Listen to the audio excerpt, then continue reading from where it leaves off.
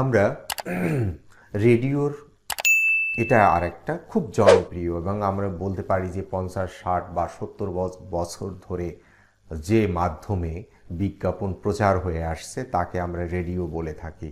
সেই প্রত্যন্ত গ্রামে সংবাদ পৌঁছানোর জন্য, যেখানে হয়তো টেলিভিশন নেই, সেই সব জায়গায় কোনো পণ্য বা সেবা সংক্রান্ত ধারণা পৌঁছানোর জন্য রেডিওতে বিজ্ঞাপন দেওয়াটা খুবই যৌক্তিক এবং যেটা রেডিওতে বিজ্ঞাপন দেয়া হয়ে থাকে। একটা সময় বলা হতো যে রেডিও হচ্ছে সব শ্রেণির মানুষের জন্য। এবং বর্তমান সময়ে আমরা জানি এএম অথবা এফএম রেডিও খুব, এফএম রেডিও বর্তমান সময়ে খুব জনপ্রিয় হয়ে হয়েছে। এবং বাংলাদেশে মোবাইল প্রযুক্তিটা খুব ডেভেলপ করার কারণে, ইন্টারনেট সেবার কারণে আমরা জানি যে অনলাইন রেডিও সেবা রয়েছে। সেক্ষেত্রে সেক্ষেত্রে অনলাইনের মাধ্যমে আমরা সবগুলো রেডিও শুনতে পারি বা অর্থাৎ এখন হচ্ছে মোবাইলের মধ্যেই রেডিওর ব্যবস্থা রয়েছে। অর্থাৎ রেডিওটার ব্যবহারটা, রেডিও শোনার মাত্রাটা প্রতিনিয়তই প্রযুক্তির উন্নয়নের সঙ্গে সঙ্গে প্রতিনিয়তই বৃদ্ধি পাচ্ছে। আমরা দেখতে পাচ্ছি যে স্পট বিজ্ঞাপন, সৌজন্য বিজ্ঞাপন, বাণিজ্যিক বিজ্ঞাপন, অর্থাৎ বিজ্ঞাপনের যে মাধ্যম, জনপ্রিয় মাধ্যম রেডিও এবং তার অনেক, সেই রেডিও মাধ্যমের কী প্রকারভেদ রয়েছে সেগুলো আমরা দেখতে পাচ্ছি। স্পট বিজ্ঞাপন, স্পট বিজ্ঞাপনটা হচ্ছে আসলে একটা নির্দিষ্ট টাইটেলের সঙ্গে যে বিজ্ঞাপনটা, যে বিজ্ঞাপনে কোম্পানি বা সেবার নাম বলে সম্প্রচার করা হয় সংবাদ, তাকে আমরা স্পট বিজ্ঞাপন বলে থাকি। আমরা বলছিলাম যে সেই অনুরোধের আসর, গানের ডালি বা সেই কোনো একটা কোম্পানি সৌজন্যে দুর্বার অনুষ্ঠান প্রচারিত হচ্ছে। সেই অনুরোধের আসর গানের ডালি বা দুর্বার, এ ধরনের সংবাদ এ ধরনের অনুষ্ঠানগুলো রেডিওতে খুবই জনপ্রিয় অনুষ্ঠান এবং দীর্ঘ বিশ বছর, তিরিশ বছর বা তারও অনেক বেশি সময় ধরে এ ধরনের সংবাদ প্রচারিত হয়ে আসছে। আমরা এখানে একটা ছবি দেখতে পাচ্ছি যে রেডিও ফুর্তি আমরা অনলাইনে তো আসলে শোনা যায় যেমন তেমনি রেডিওর লোগোটাও দেখা যায়। তো ঠিক সেই রেডিওর লোগোর সঙ্গে যদি বা সেই সংবাদ, নির্দিষ্ট সংবাদের সঙ্গে যদি যেমন হতে পারে, যেমন ইত্যাদি অনুষ্ঠানের কথা আমরা বলতে পারি। যে ইত্যাদি অনুষ্ঠান বা খেলা দুরান্ত বাইসাইকেলের স্পন্সরে খেলার সম্প্রচার করা হচ্ছে, অর্থাৎ ক্রিকেট খেলা সম্প্রচার করা হচ্ছে রেডিওতে। তাহলে কি হচ্ছে? সেই দুরান্ত বাইসাইকেলের খেলার সংবাদ। অর্থাৎ খেলা কথাটা বল বলার সঙ্গে সঙ্গে দুরান্ত বাইসাইকেল শব্দটা যাচ্ছে। তাহলে কি হচ্ছে? বা প্রাণ আরএফএল যাচ্ছে। ওটার সঙ্গে, বা অল টাইম ব্রেড যাচ্ছে। এরকম নানা ধরনের জনপ্রিয় সব পণ্যগুলো ওয়ালটন যাচ্ছে। অর্থাৎ নানা ধরনের পণ্যগুলো ওই যদি ওই সংবাদটার সঙ্গে বলা হয়, তাকে তাকে আমরা বলে থাকি স্পট বিজ্ঞাপন। যদি স্পট বিজ্ঞাপনটা আমরা টেলিভিশনের ক্ষেত্রে খুব ভালোভাবে বুঝে থাকি যে একটা নির্দিষ্ট লোগো টেলিভিশনের স্ক্রিনের মধ্যে কোথাও সবসময় নিউজের সঙ্গে বা অনুষ্ঠানের সঙ্গে সঙ্গে ঘুরে বেড়াচ্ছে বা অ্যানিমেশন হচ্ছে। এবং সেটা হচ্ছে সেটাকে আমরা স্পট বিজ্ঞাপন বলে থাকি। সাধারণত স্পট বিজ্ঞাপনগুলো একটু ব্যয়বহুল হয়ে থাকে।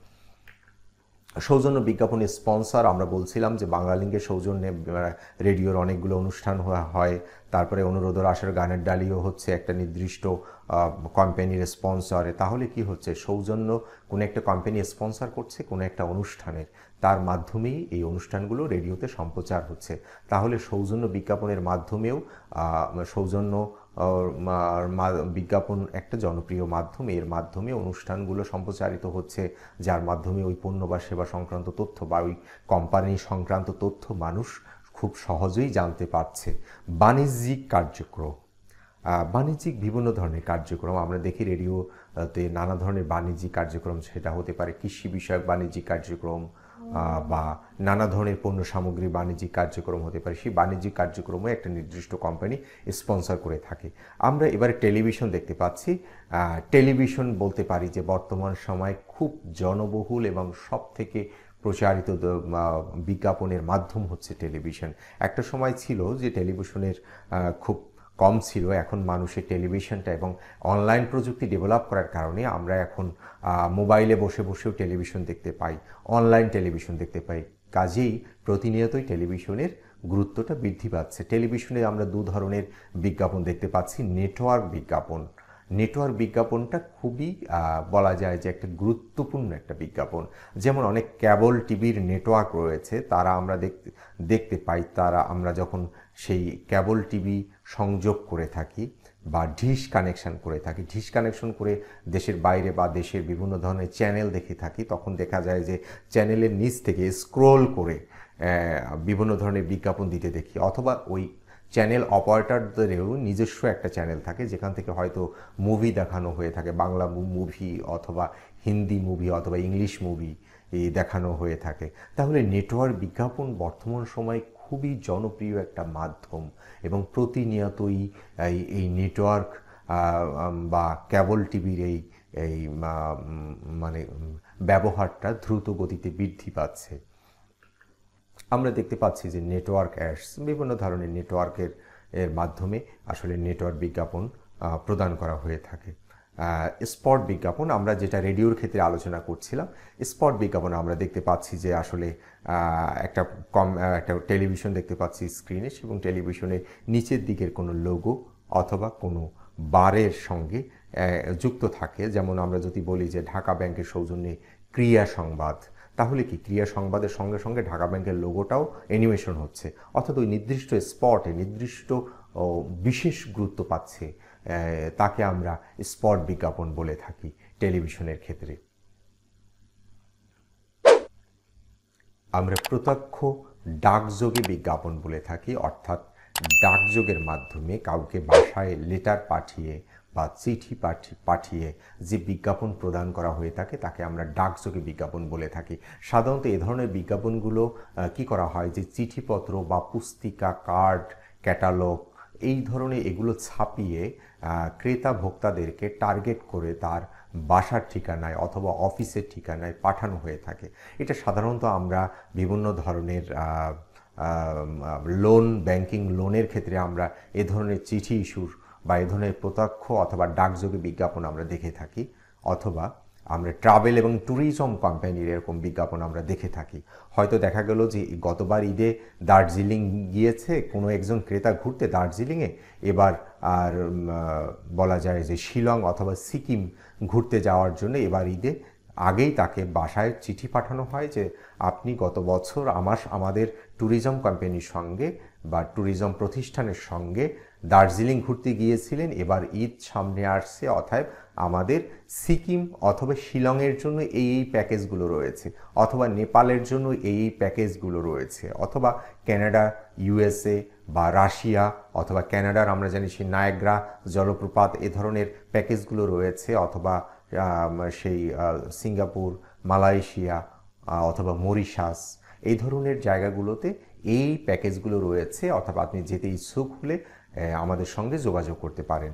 তাহলে কি হচ্ছে? এই সে বাসায় একটা ছাপিয়ে একটা ক্যাটালগ পাঠিয়ে দেওয়া হচ্ছে এবং ক্রেতা ওই ক্যাটালগটা পাওয়ার পরে সে সিদ্ধান্ত নিবে যে এই সামনে যে ঈদ আসছে, সেই ঈদ আর ঈদে সে ঘুরতে যাবে কিনা। তাহলে প্রত্যক্ষ এবং প্রত্যক্ষ বা ডাকযোগে বিজ্ঞাপন বিষয় আশা করছি শিক্ষার্থী বন্ধুরা খুব ভালোভাবে তোমরা বুঝতে পেরেছ। আমরা ট্রানজিট বিজ্ঞাপন বলে থাকি। ট্রানজিট বিজ্ঞাপন ট্রানজিট বিজ্ঞাপনটি দুভাগে ভাগ করা হয়। ট্রানজিট মানেটাই হচ্ছে যে পরিবহন, মনের মাধ্যমে যে বিজ্ঞাপন দেওয়া হয়।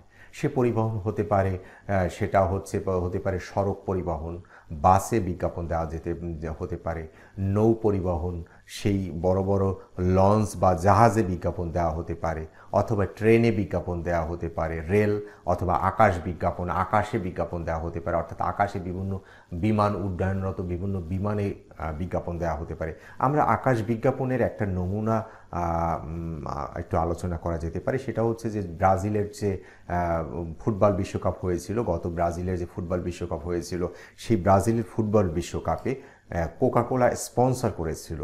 তো কোকাকোলা স্পন্সর করার কারণে টোটাল বিমানটাই কোকাকোলার লোগো দিয়ে সাজানো হয়েছিল। তাহলে কি হচ্ছে যে, বিমানের গায়ে যে বিজ্ঞাপন দেওয়া হয়ে থাকে বা বিমানের মাধ্যমে যে বিজ্ঞাপন দেওয়া হয়ে থাকে, তাকে আমরা আকাশ বিজ্ঞাপন বলে থাকি। তাহলে রেলগাড়িতে বিজ্ঞাপন দেওয়া হয়ে থাকে। আমরা জানি যে রেলগাড়িতে গ্রামীণ ফোনের লোগো থাকে অথবা আমাদের রেল স্টেশনে আমরা গ্রামীণ ফোনের লোগো সম্বলিত বিভিন্ন ধরনের বিজ্ঞাপন দেখে থাকি। তারপরে হচ্ছে বাসে, বিশেষ করে ডাবল ডেকার যেসব বাস রয়েছে, দোতলা বাস, সেক্ষেত্রে আমরা গ্রামীণ ফোনের বিজ্ঞাপন দেখি, ওয়ালটনের বিজ্ঞাপন দেখি, এ ধরনের নানা ধরনের আমরা বিজ্ঞাপন দেখে থাকি। তাহলে পরিবহন বিজ্ঞাপনটা খুব জনপ্রিয়। তো আমরা এইভাবে কার কার্ড দেখি বা ভ্রাম্যমান প্রদর্শন আমরা বলে থাকি, অর্থাৎ একটা গাড়িতে মানে ছোট আকারে অথবা বড় আকারে যে বিজ্ঞাপনগুলো দেওয়া হয়ে থাকে, তাকে আমরা কার কার্ড বলে থাকি, অর্থাৎ গাড়িতে পেছনের দিকে স্টিকারের মতো বিজ্ঞাপন দেওয়া হয় বা এটা যে কোনো ফর্মেটে থাকতে পারে। আমরা কার কার্ড বলে থাকি? যেমন আমরা হতে পারে যে ডাচ বাংলা ব্যাংকের সেই ভ্রাম্যমান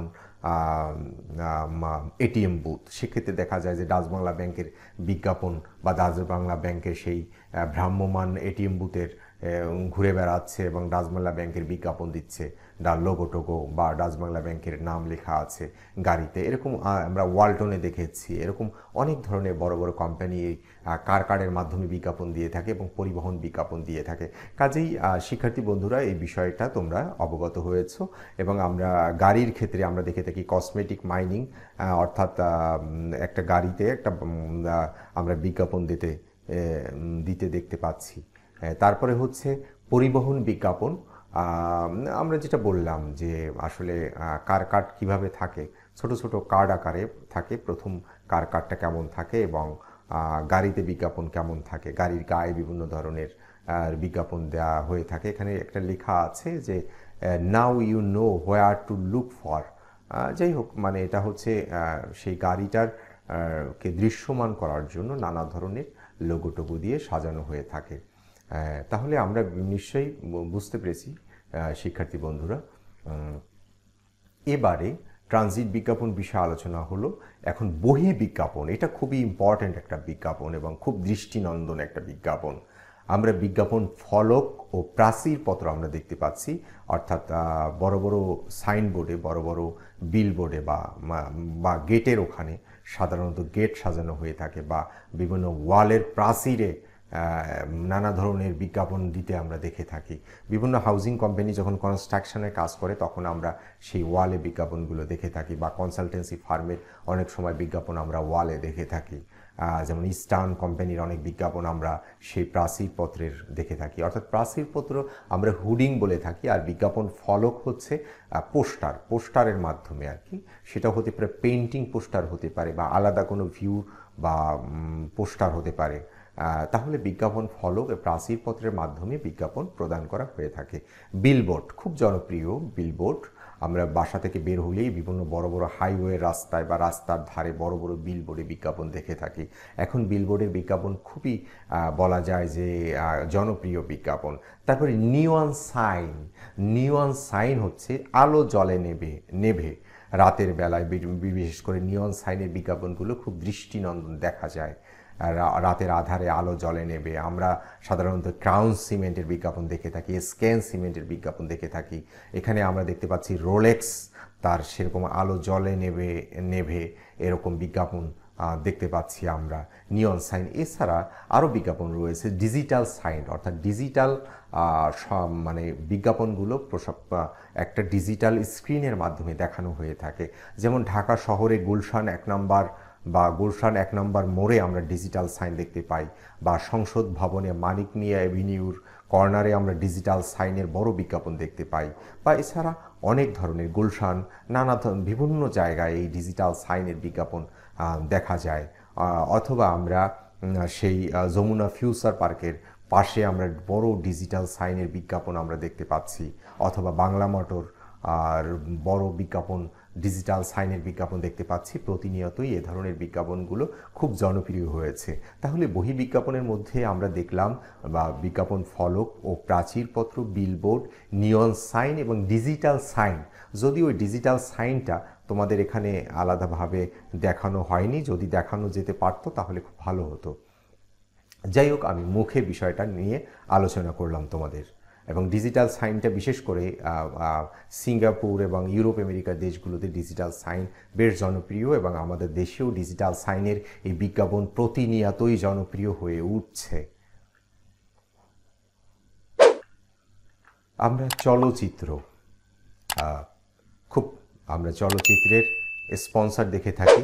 আমরা ব্যাচেলর আর মোস্তফা স্যার ফারুকির সেই বিখ্যাত মুভি আমরা সবাই জানি, সবার আমিও দেখতে গিয়ে গিয়েছিলাম। সেই ছবির নাম হচ্ছে ব্যাচেলার ছবি। তো সেই ব্যাচেলার ছবিতেও আমরা দেখেছি ইউরো, ইউরোকোলা বা বিভিন্ন পণ্যের স্পন্সর রয়েছে, বিজ্ঞাপন রয়েছে। আমরা হুমায়ুন আহমেদের সেই জনপ্রিয় উপন্যাস অবলম্বনে তৌকির আহমেদের খুব সম্ভবত পরিচালনা করেছে দারুচিনি দ্বীপ। যে ছবিটা আমরা স্লাইডে দেখতে পাচ্ছি, সেই দারুচিনি দ্বীপের সেই বিখ্যাত মুভির লাক্স স্পন্সর করেছিল, আমরা লাক্সের লোগো দেখতে পাচ্ছি। ছোট আকারে দেখা যাচ্ছে, একটু কালো করে দেওয়া আছে। সেই দারুচিনি দ্বীপের স্পন্সর ছিল লাক্স। এছাড়া অনেক বিখ্যাত মুভিতে আমরা বিভিন্ন বড় বড় মাল্টিন্যাশনাল কোম্পানির স্পন্সর দেখতে পাই। আমরা অনেক জনপ্রিয় মুভির নাম জানি, দূরত্ব, শ্যামল ছায়া, আগুনের পরশমণি, শ্রাবণ মেঘের দিন দীপু নাম্বার টু, আমাদের খুব জনপ্রিয় শিশুতোষ চলচ্চিত্র আমরা বলে থাকি, দীপু নাম্বার টু। তাহলে এ ধরনের মুভিগুলোতে আমরা বিজ্ঞাপন দেখে থাকি, অথবা আমরা যখন সিনেমার হলে যেয়ে মুভি দেখি, তখন কি হয় যে একটা মুভি দেখার ভেতরে একটা ব্রেক দিয়ে থাকে, সেই ব্রেকের টাইমেও বিজ্ঞাপন দিয়ে থাকে, অথবা সিনেমা শুরু হওয়ার শুরুর দিকে বিজ্ঞাপন দেওয়া হয় এবং শেষের দিকেও বিজ্ঞাপন দেওয়া হয়ে থাকে। এবং হতে পারে যে সিনেমা হলের টিকিটের স্পন্সর হচ্ছে কোনো একটা বড় মাল্টিন্যাশনাল কোম্পানি স্পন্সর করছে, অর্থাৎ তার ওই টিকিটের গায়ে লোগো রয়েছে। এভাবে নানাভাবে একটা চলচ্চিত্র ওর মাধ্যমে, চলচ্চিত্র মাধ্যমে বিজ্ঞাপন খুবই জনপ্রিয়, কারণ চলচ্চিত্র খুবই জনপ্রিয় একটা মাধ্যম। সেই সামাজিক সমস্যাগুলো তুলে ধরার জন্য বা সেই পণ্য বা সেবা সংক্রান্ত বিষয়গুলো বা কোম্পানি সংক্রান্ত তথ্য জানানোর জন্য।